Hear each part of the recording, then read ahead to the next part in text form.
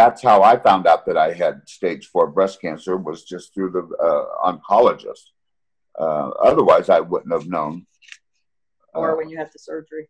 Yeah, uh, or the surgery, but um, yeah, it ended up being stage four. So I don't know how they figure that out, but that's what I was told. stage four, being diagnosed with stage four breast cancer is it's incurable. And when Bob was diagnosed, he was given about two years to live. And um, stages zero through three breast cancer are curable with different treatments, whereas stage four isn't curable.